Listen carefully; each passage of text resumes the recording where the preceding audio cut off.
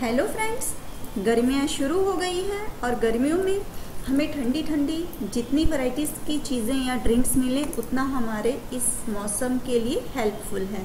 तो आज मैं आप लोगों के लिए लेकर आई हूँ मैंगो फ्रूटी की रेसिपी जो कि बहुत यमी और टेस्टी बनेगी और इसका टेस्ट बिल्कुल बाज़ार जैसा होगा। और फ्रूटी के नाम से ही आपके बच्चों के चेहरे पे जो खुशी हो जाए, खुशी आ जाएगी, उसकी तो बात ही अलग है।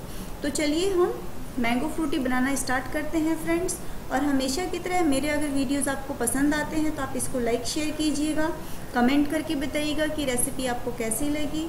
और अगर आपने अब तक मेरे चैनल को सब्सक्राइब नहीं किया है तो प्लीज़ सब्सक्राइब ज़रूर कर लें। तो चलिए हम वीडियो स्टार्ट करते हैं। मैंगो फ्रूटी बनाना स्टार्ट करते हैं। तो मैंगो फ्रूटी बनाने के लिए मैंने यहाँ पर लिए हैं दो पके हुए आम। देख सकते हैं आप ये साइज़ में थोड़े से बड़े हैं और एक कच्चा आम लिया है जो कि छोटा है। हमको यही रेशियो रखना है। क्योंकि अगर हम छोटा आम बड़ा लेंगे तो क्या होगा कि जो कच्चा आम है, अगर हम वो बड़ा ले लेंगे तो क्या होगा कि हमारा फ्रूटी जो है बहुत खट्टा हो जाएगा और उसके लिए हमें चीनी की क्वांटिटी और बढ़ानी पड़ेगी। तो हम छोटा सा ही लेंगे और फिर भी हम चीनी हमने यहाँ पर एक कप लिया है, लेकिन हम डिपेंड करता है कि हमारे आम कितने मीठे हैं, उसके हिसाब से चीनी का रेशियो थोड़ा सा कम या ज़्यादा हो सकता है और पानी लिया है मैंने एक लीटर। तो सबसे पहले हम क्या करेंगे कि अपने आम के छिलके उतार लेंगे तीनों आम हम अच्छे से छील के तैयार कर लेंगे और उसके बाद हम इसका पल्प निकाल लेंगे। तो देखिए, हम दोनों आमों के पल्प अच्छे से निकाल लेंगे और पल्प निकालने के बाद हम, ये देखिए, अच्छे से मैंने सभी आम का पल्प निकाल लिया है। अब हम एक कुकर लेंगे और सभी आम के पल्प को जो हमने निकाला था वो इसमें डाल देंगे और साथ ही हम इसमें एक कप पानी डालेंगे। और इसको हम बंद करके तीन से चार विसिल आने तक पका लेंगे। तो जब तक हमारा देखिए, यहाँ पर कुकर में विसिल आता है, तब तक मैंने दूसरी साइड पे एक बर्तन लिया है और उसमें मैंने अपनी चीनी को डाल दिया है और साथ ही एक कप चीनी में मैंने दो कप पानी ऐड किया है। अब हम इस चीनी की हमको चाशनी नहीं बनानी है हम इसको चलाते हुए सिर्फ़ चीनी मेल्ट होने तक पकाएँगे। जब हमारी चीनी घुल जाएगी तो हम गैस का स्टोव बंद कर देंगे। और ये प्रोसेस होने में दो से ढाई या तीन मिनट तक लगेगा। देखिए, हमारी चीनी अच्छे से घुल गई है। अब हम गैस को बंद कर देंगे और शुगर सिरप को हम ठंडा होने के लिए छोड़ देंगे। और इधर हम देखते हैं कि हमारे कुकर में चौथी सीटी भी लग गई है। इसका भी हम गैस बंद कर देंगे और यहाँ भी हम कुकर को पूरी तरह से ठंडा होने के लिए छोड़ देंगे। जब हमारा कुकर अच्छे से ठंडा हो जाएगा, फिर हम इसको खोलेंगे। तो देखिए कुकर अच्छे से ठंडा हो गया है, ये पल्प भी अच्छे से ठंडा हो गया है और बहुत अच्छे से पक भी गया है। अब हम इसको क्या करेंगे? क्रश करेंगे। इसको बारीक पीसना है। उसके लिए मैं इस पल्प को एक ग्राइंडिंग जार में डाल दूँगी। और उसके बाद हम इसको बिल्कुल बारीक पीस लेंगे।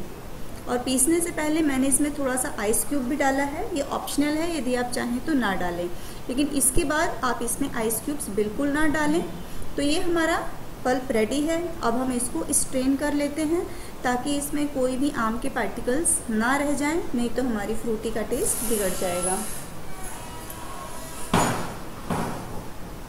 तो देखिए, मैंने इसको अच्छे से स्ट्रेन कर लिया है। और आप देख सकते हैं कि इसकी जो बहुत थिक है अभी, और अब हम इसमें अपना शुगर सिरप मिलाना स्टार्ट करेंगे। तो पहले मैं इसमें हाफ़ शुगर सिरप मिला देती हूँ और इसको अच्छे से मिक्स कर लेंगे। तो देखिए, अभी भी ये बहुत गाढ़ा लग रहा है तो अब हम इसमें थोड़ा सा शुगर सिरप और मिला लेंगे। और अब हम पहले यहाँ पर हम इसको टेस्ट करेंगे। ऐसा ना हो कि हमारा जो फ्रूटी है वो ज़्यादा मीठा हो जाए। तो हम इसको टेस्ट करेंगे और अगर रिक्वायरमेंट हुई तो हम इसमें और शुगर सिरप मिलाएँगे। तो मैंने इसको टेस्ट कर लिया है और अभी हमारा ये जो फ्रूटी है, वो थोड़ा सा खट्टा है। तो जो मेरा बचा हुआ शुगर सिरप था, वो भी मैं इसमें ऐड कर दूँगी। और उसके बाद से इसको हम अच्छे से मिक्स करेंगे और देखेंगे कि थोड़ा सी इसमें और पानी जाएगा। तो यहाँ पर हम थोड़ा सा इसमें पानी भी ऐड कर लेंगे। और देखिए, अभी से ये कितना प्यारा लग रहा है हमारा रोटी तो मैं इसमें थोड़ा सा और पानी डाल लेती हूँ और बिल्कुल ऐसी कंसिस्टेंसी बनाएँगे जैसे कि हमको बाज़ार में मिलती है। देखिए, ये ना बहुत ज़्यादा गाढ़ी है और ना ही बहुत ज़्यादा पतला है। एकदम परफेक्ट कंसिस्टेंसी है और आपको भी ऐसा ही रखना है। तो देखिए, ये तैयार हो गया है। और अब हम क्या करेंगे? कि इसको सर्व करने से पहले इसको फ्रिज में रखेंगे। तो इसको मैं दो घंटे के लिए फ्रिज में रख दूँगी। यहाँ पर आप आइस बिल्कुल ना डालें। आइस अगर आप डालते हैं तो मेल्ट होके जब पानी बनेगा तो हमारा जो टेस्ट है, मैंगो फ्रूटी का, वो चेंज हो जाएगा। तो यहाँ पर बिल्कुल भी रेडी करने के बाद इसमें इसको ठंडा करने के लिए आप आइस क्यूब्स ना डालें। इसको दो घंटे के लिए फ्रिज में रखें, ठंडा करें और उसके बाद सर्व करें। तो देखिए फ्रेंड्स दो घंटे हो गए हैं और हमारी फ्रूटी अच्छे से ठंडी हो गई है। तो चलिए अब हम इसको फटाफट से सर्व कर लेते हैं। वाह देखिए, एकदम बाज़ार जैसी हमारी मैंगो फ्रूटी बनकर तैयार है।